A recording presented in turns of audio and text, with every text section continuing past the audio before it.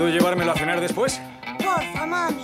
Volveremos a las 7. Volveremos a las 7. Vale, bien, a las 7. A las 7 en punto. Di adiós, mamá. Adiós, mamá. Adiós, mamá. ¿Quién es el nuevo entrenador? El ex Stacy, el jugador de fútbol. Dedicad cinco minutos cada día a pasaros el balón con un hermano o una hermana. Sí. Yo tenía una hermana, pero murió. Eras un gran, gran jugador. ¡Dreyer remata! ¿A qué te dedicas ahora que has dejado el fútbol? Y ahora los deportes en la CSA. Gracias a un penalti en los últimos segundos.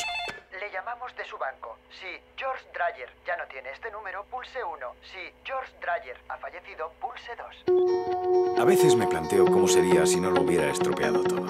Yo también me lo pregunto. Eras lo más emocionante que me había pasado. Estás triste porque mamá se casa. Sí, pero Matt parece un buen tipo.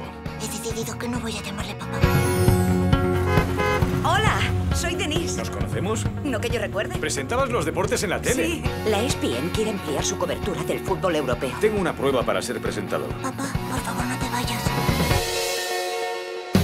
Vamos a demostrarles de lo que somos capaces. ¡Acabemos con esos mamones!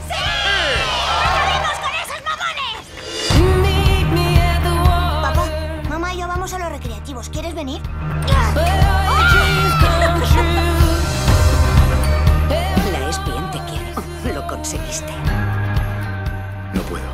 hijo que necesita que empiece a ejercer de padre.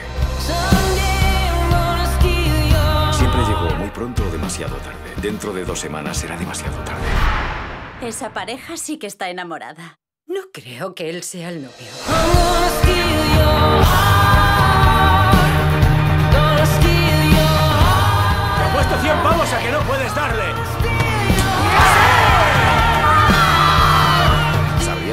¿Sabrías llevar este trasto? ¿En serio? ¡Qué pasada!